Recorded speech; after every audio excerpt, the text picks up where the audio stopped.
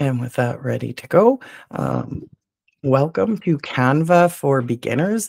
In this session, I'm going to uh, show you just some basic things in Canva for people um, who've never used it before, maybe just had a look, but um, would like to learn about some basic use. So I will be demonstrating live within Canva for most of the presentation. Um, there is not a slide deck to go along with this as we'll be doing this all live right within Canva. If you have not been to Canva before, you can Google it or just go to canva.com and you're going to want to sign in with Google when you get there. So the Wetaskiwin Regional School Division uh, a few years back now got us all signed up um, uh, with official educator accounts. So if you're signed in with your WRPS 11 account through Google, you'll have access to the premium features. So if you've ever used Canva on a personal account, uh, there's some things that are um, meant only for premium or for EDU. So you would have to pay money on that personal account to get access to those things. But with our education accounts, we um, are given that access. This includes for students. So students are able to log into uh, Canva with Google and use it the same as you can as a staff. If you have any questions that pop up along the way, please feel free to uh, put them in the chat and I'll make sure to address them uh, before we sign off today. I'm going to advance just one. So but just quickly before I, I jump into the actual live website, uh, I wanted to talk about beginning with the end in mind. So Canva is a very wide encompassing creation tool. You can create everything from uh, printable PDF documents to uh, full feature length uh, videos using this interface. So on this screen, you can see the first uh, image here. This is um, the search menu that you get, which I will show you live when you start to go just create something from scratch. Uh, this list is very comprehensive. Uh, depending how you use Canva and what you create in there, this will actually populate with the things that you use the most. Um, but just in this view, you can see it's giving me options as soon as I go to create to do everything from a document.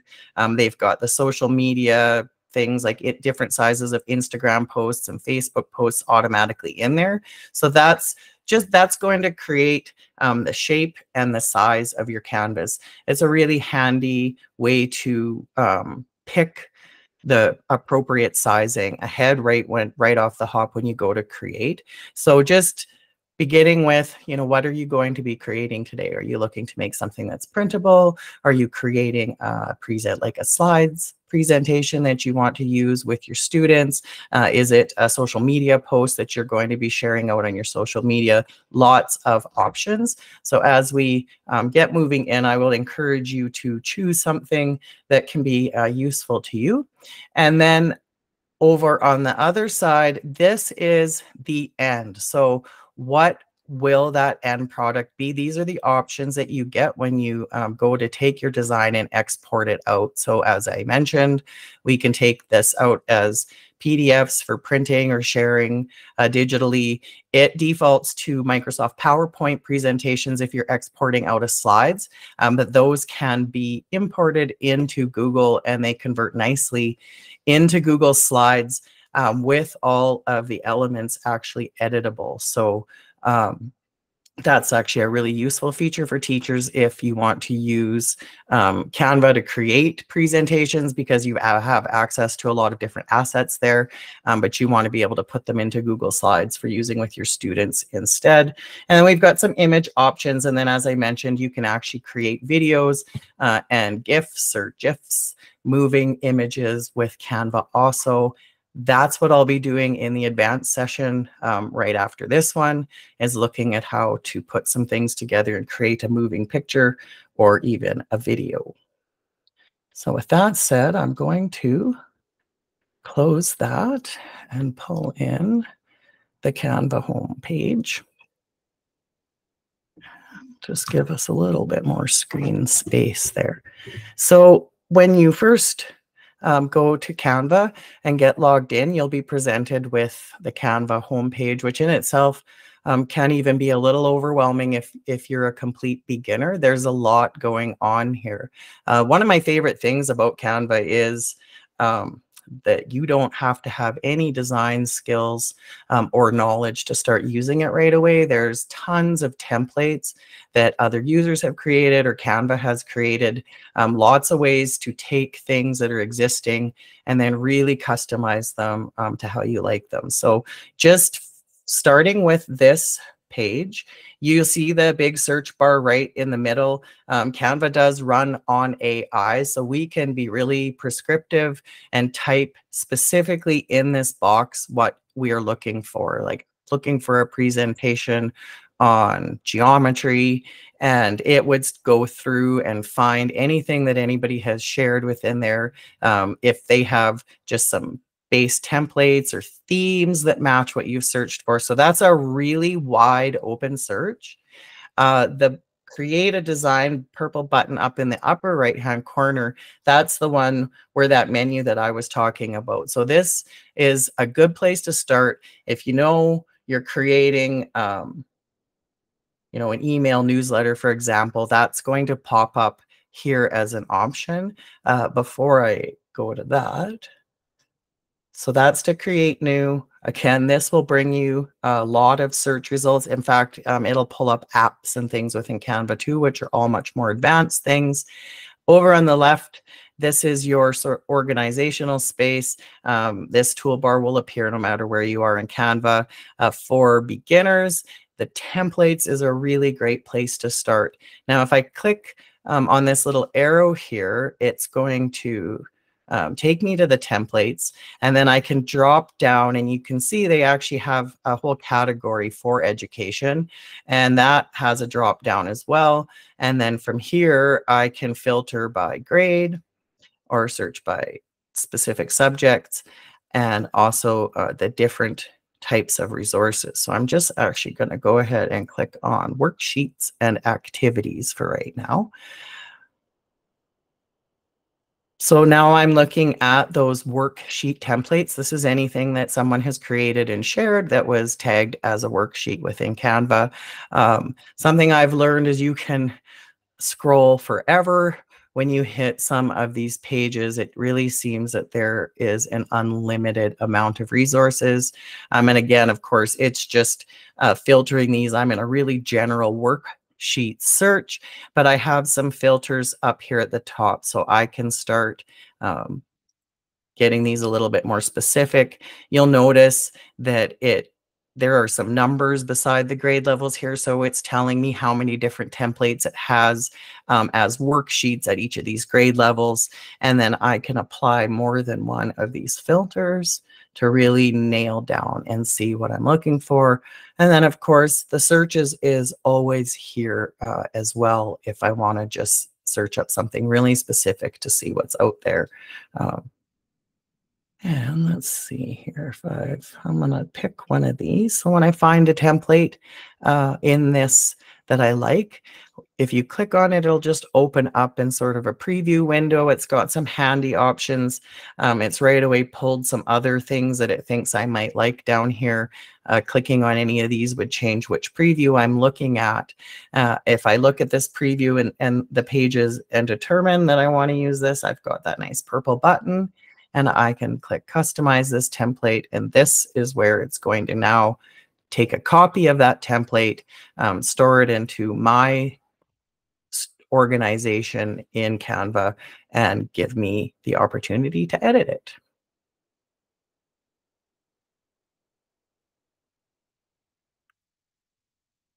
So in its full form, um, I'm just going to go over some of the, the basic editing within this template, uh, and then we'll uh, look at some, I want to show some other elements and things that we'll, we'll add to this one as well.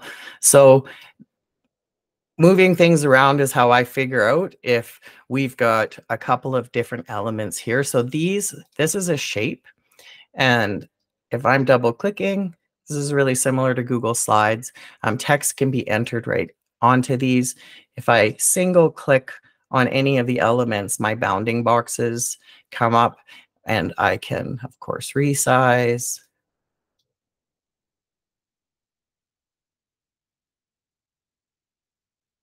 If I highlight the text within, I will get my text toolbar up top. So you can edit the text by using the toolbar here, making things bigger or smaller. We can open the color palette and change the color of that text. Let's see. I changed the color of the shape. The color of the text is the text button. So again, I'll do this one. If I have the text highlighted, I need to click the text color button. I can change that color there. Same um, as some of the Google things. Uh, if I make this change here, I can click the little copy style, this little paint roller icon, and click that. And then when I click on this one over here, haha, it will change, um, make the same changes to that box. So that's a quick way um, that you can apply a style once you've chosen it.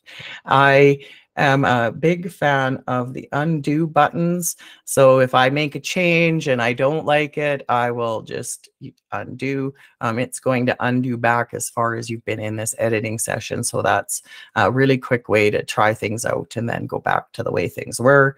Um, and then I'm going to show on this one also.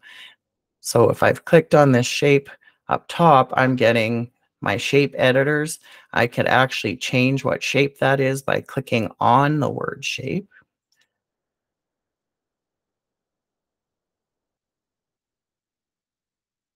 The color box will allow me to choose the color of the shape. Right next to the color box is the line style. So by default, um, there's not a border around the shape, but I can turn one on and then I can adjust how thick it is here. Notice that once I turned it on, an extra button appeared between these two. When I turn the border on, I get this to choose that border color now, which I don't want the same color. So with a border turned on, we've got the three um, different boxes here for editing the shape. And as I say, we can um, make the border thicker or thinner by just dragging this line. You can also enter a number specifically into the box if the slider is not cooperating and there's just a few options about what that border can be styled like. So we can have some um, bigger or smaller dotted lines as well. And we can round the corners. Um, I could almost turn this right into a circle.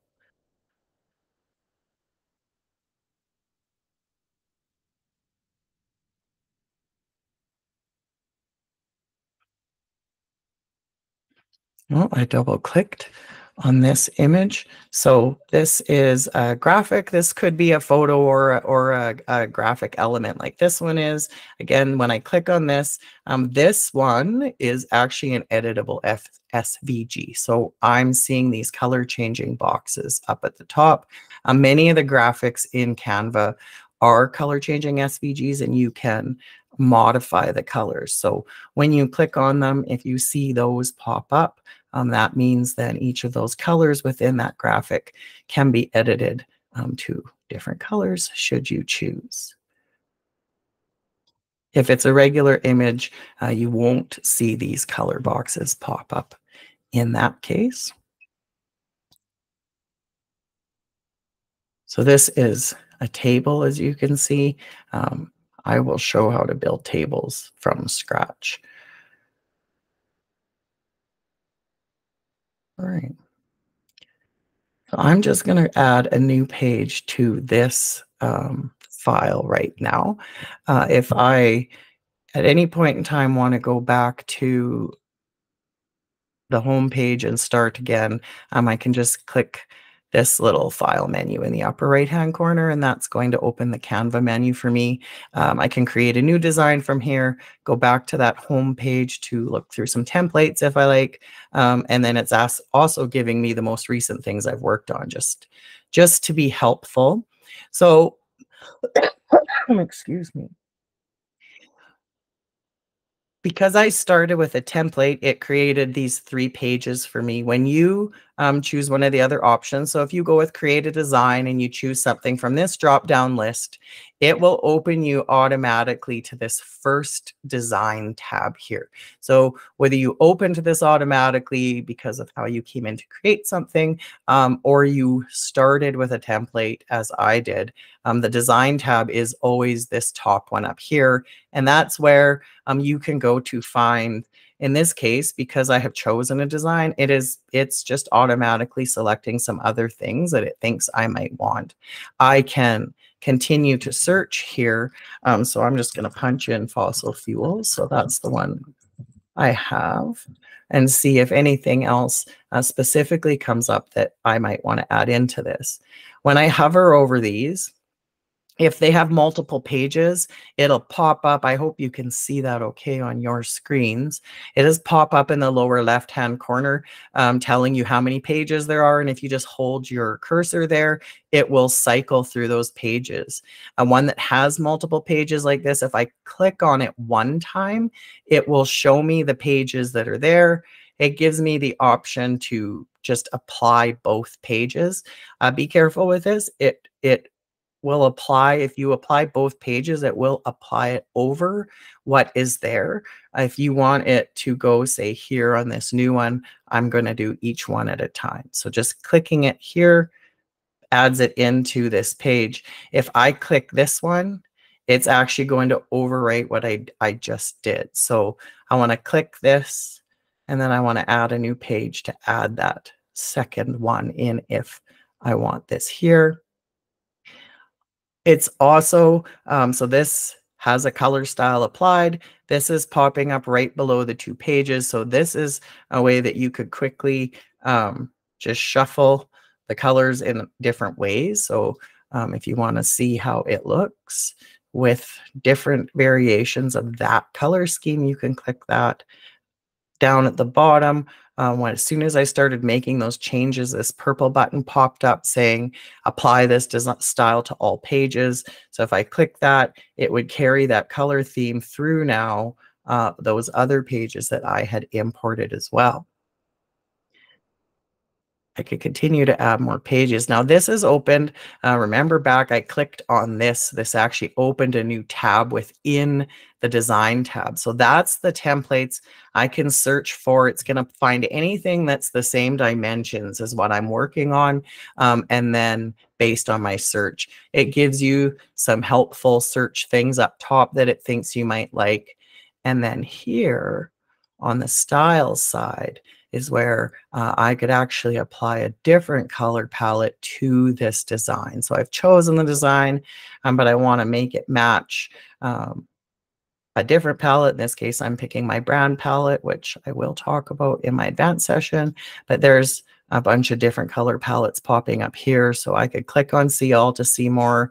Um, just clicking them over again is going to cycle through just some random variations of that theme. And then again, if I hit on something that I'm really liking, I can hit apply to all pages and it's going to go through uh, and recolor all of the elements and words and things on those pages as well. And does anybody have any questions at this point?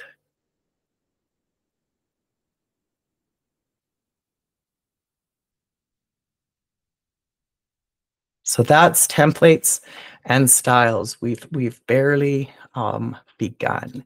So elements are um, almost all of the things that you're going to come across in Canva designs. Um, there is uh, many categories of them. So when I, I click on elements, uh, first thing, it's showing me anything I've used recently. That's very handy. Then I've got shapes, graphics refers to what you would consider clip art. Uh, so you may see things in graphics that are very photograph like. Um, generally, graphics are cut out so they don't have a background on them, though, depending on what you're doing, uh, you may see backgrounds on some of those as well.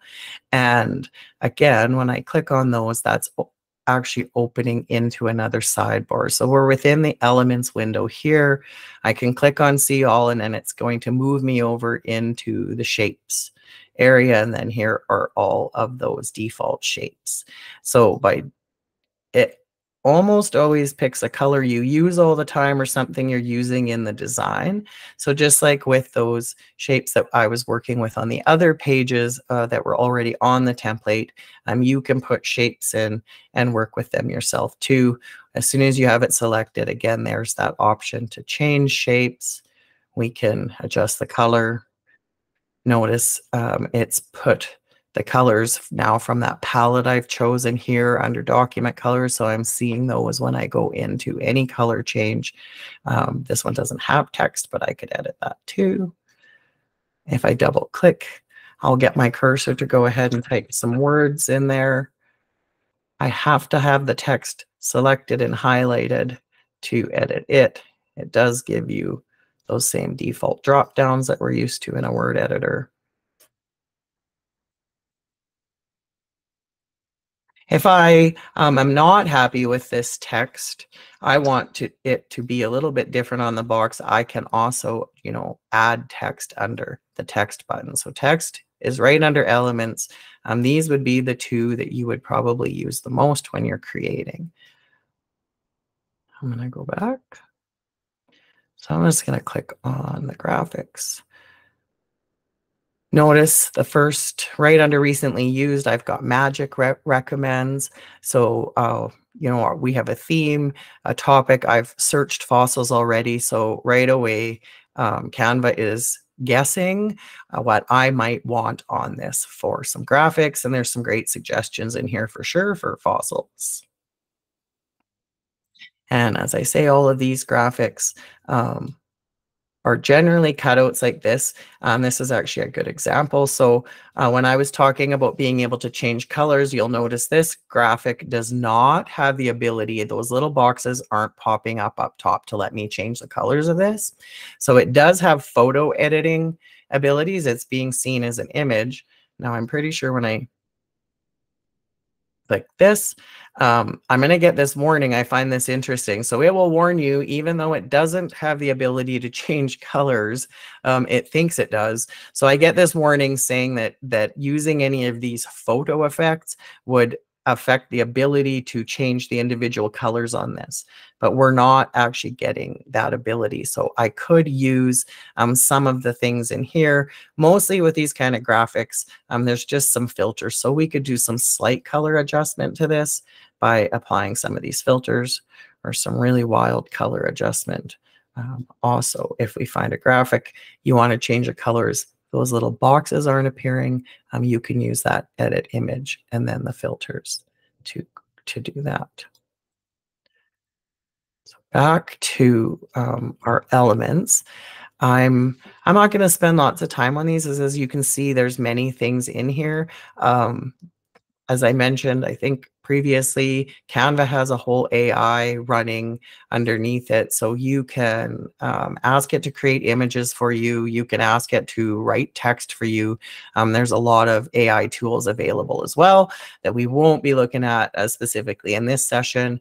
Uh, photos, uh, for sure that those get used a lot. Lovely thing about the Canva photos is that um, they are free to use and legal to be published, and you're not going to get anybody copyrighting you uh, because of that education account. As I mentioned earlier in the presentation, uh, we have access to unlimited assets in Canva that can be used. Um, so I'm going to punch in that fossil fuels and see what comes up for photos. And again, quite a quite a number of photos coming up. I'll just click on one here so I can click just a single click on on a photo here in the previews will put it out at a default size. And then of course you have the bounding boxes that you can do your resizing. Um, when I have this highlighted, we get a nice little toolbar up top. Um, this first button allows me to duplicate. That's really handy for uh, duplicating uh, icons or graphics over and over. Um, Canva is actually really smart. If you line two graphics up and duplicate them and then hit duplicate, it'll continue to line further ones up the same way that you had. I love some of the smart things that Canva can do. Um, now with this guy here, I want to actually draw your attention to um, probably my favorite and most used element. So um, videos and audio, again, lots of stock video and audio footage within Canva that can be used in your projects um, without worrying about copyrighting.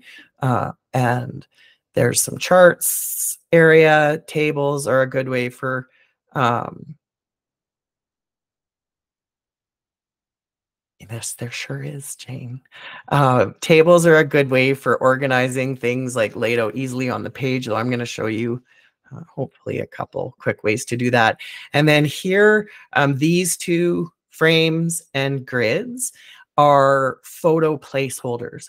So these can be used to quickly make an image into whatever shape is being presented. Uh, frames are specifically mostly for individual photos, though some of them accommodate more than one picture. And then grids are uh, full page layouts um, for quickly popping in pictures. So when I click on grids, they start with a one photo grid. Um, then there's two photos and three photos. So these go um, in uh, increasing order. So if you've got nine pictures, you know you need to put on a page, you can just scroll down until you get to where there are nine photos in these layouts. Uh, you can also search uh, on elements. Uh, you could search for a specific number of a grid layout and it would find the ones for you as well. So with those, I'm just going to click that to get back out of there. I'm actually going to go into the frames. So again, um, multiple menus always within Canva. So I'm in the frames, elements, frames, and then now they have got all of these different groupings. This is actually something they've cleaned up more recently, and I'm a big fan because they used to just have all of the frames um, right after the others. So if I was specifically looking for the whole alphabet as photo frames, they've got those grouped out for me. And there's some one with some wides and blobs are very popular. Um, so here is if I click Bob's, blobs, pardon me. So I've gone elements, frames. Now I'm in blobs. And again, I think you can almost scroll unlimited. There's a lot of options in here. So if I pick one and pop it out, it's same thing, just going to default. I can bounding box.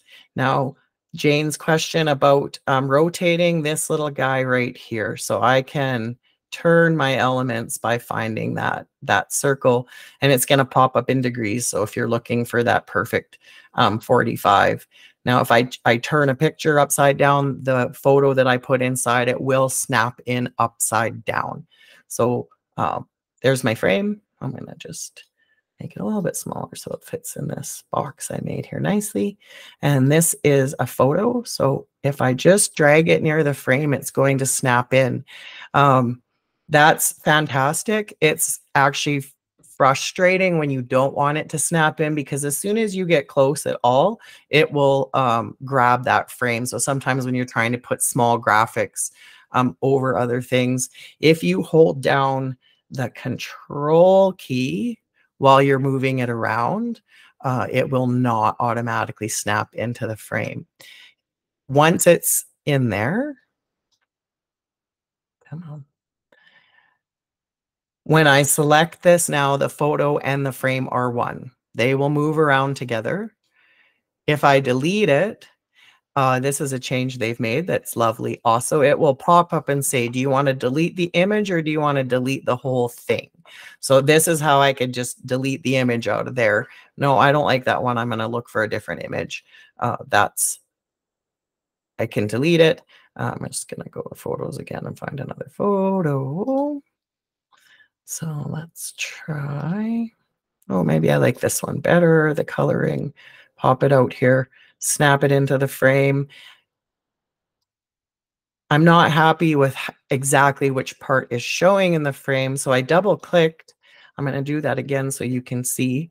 Uh, a double click on this is opening up the cropping menu. So uh, if it was just a photo I can crop. So this is going to give me the opportunity to move this around within the frame. This is going to depend on the perspective of the photo because this was a wide angle photo and I'm using a square frame.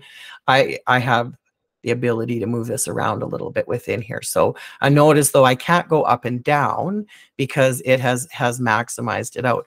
I could though choose to zoom in even closer within that frame. So you can see what's grayed out is the original photo. And then I can see here how much of it is coming through the frame. When I'm happy, I can hit my enter key or just hit done. And now I have adjusted where that photo is within the frame. By clicking on the little, the three little dots or right clicking on the image, you'll get this, the extra menu that has your regular copies and pastes and things in there, but it also has um, this detach image. So that is another way to take that photo out of the frame and, and put it out um, back onto the page. With Canva, if you leave things off the side of the page like this, um, it just automatically crops them for you. So that's a design thing that I see really often when I'm pulling up templates. Um, you know, a regular shape changes quite a bit when we just pull it off the page. A star looks nothing like a star by leaving some of it off. So it's not necessary to uh, crop these edges. That photo just sort of disappears off the canvas. Uh, when I take this out, it will um, crop those page lines. Things that are not photos cannot be snapped into frames. So this is, you know, a shape, it cannot snap in there.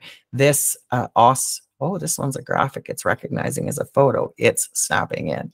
So the shapes won't, uh, some of the graphics will not either. Uh, if I didn't want it there, again, that's that three dots or a right click and then detach. So this can be rotated Notice that you do um, get some sizing. It, it tells you how, how big it is as you're moving it up and down. And then also, I'm not going to get into animating because that's a bit more advanced, but I am going to talk about layering. So position um, is referring to what's on top of what on your page or the layering. So if you select a particular element and then, you know, hit to back, it's going to go behind everything else on the page. We can quickly bring things to the front as well. To choose several or more than one elements, um, I want to do something with my whole page that's really not very pretty at all at this point. I can just click and drag, I can start outside of my page. Um, you'll notice this bounding box is getting really big because I have, you know, hung this picture off the side. So it is selecting the whole thing, um, but I don't need to be worried about that. So this is now given me the chance to move these things around. And now when I click uh, the three dots here, I see a couple options uh, that refer to working with multiple elements. So I could um, automatically ask it to align these elements with each other, either by their left or their center or their right. I'll just show you what that does when I center them. So it's taken them all and aligned their middles up. I'm going to, I'm actually going to start a new page for you guys and go back, be a little bit more basic. I've got about 10 minutes. I'm just going to check the chat too. Um, I think I answered your question about rotating. So I'm just going to put in um, a box here. Now, when I go to resize the box using the corner buttons, it actually will allow me to uh, take this away from being a square shape. I'm going to use my undo if I want it to retain its square shape, I'm going to hold down the shift key while I drag this corner box. And that's going to uh, make sure that it's retaining that perspective. Now I'm going to take this, click and use my duplicate to make another one. And I'm going to line it up here. You'll notice Canva gives you some lines. So it's showing me that right in this point, I have the center and the, the top and bottom of these two shapes aligned. Now, when I hit duplicate again, it actually automatically puts the next one I'm right where it thinks I want. Now that I've put four in, I realize I, I didn't use the space on the page quite as well. So I'm going to just drag this one a little over closer to the edge and this one closer to the edge. So now that I don't have them evenly spaced, I'm going to click and drag around them. If you're trying to pick out specific items, like I wanted to say just pick these two, I can click and hold down shift and it's going to select just the ones that I clicked while I was uh, holding down shift. So it's really only selected those two objects and not the others. In this case, I do want them all. So I'm going to make sure they're all chosen. And then now here, I do have them um, lined up, but they're not spaced evenly. So I can go to space evenly. They have this handy little tidy up um, that we can use, which is going to do what I need. Uh, I also could have just used the little space evenly horizontally. Uh, notice because I don't have elements stacked, it knows that already. It's giving me that as an option. But then I can click to space evenly horizontally and, and it's automatically going to do that for me. Um, Canva is really helpful in that way because even um, as I'm dra dragging these boxes around, you'll notice that it shows you when you're matching the spacing of different uh, areas. When sometimes when you're doing this, it will snap for you um, and you don't actually want it to. So again, that control key um, removes all of that bounding and snapping and allows you to free move something around. Um, and then I've got this guy just a little bit out of alignment. Uh, I can use the lines within Canva. Again, I can grab these all together and quickly ask them to align. So center and it moved them all into one spot and I still have them all grouped. So that's probably a couple of the other things that I use uh, most often. Um, I love the tidy up. It very quickly knew what I wanted to do and put them uh, in a nice neat row for me. And then I could further um, continue to duplicate all of them at one time. And same thing, it's going to just magically know where I want to put that. All right, I'm very close to 10 after. I wanted to save five minutes um, for any questions. And then also, well, maybe I'll save five minutes now for questions and then one minute for uh, people to refill waters, uh, take a break if needed, if you're joining me for my next session. I'm going to grab that link right now too. And put it in the chat. If you have a question, feel free to ask. Otherwise, feel free to have a five or six minute break before your next session.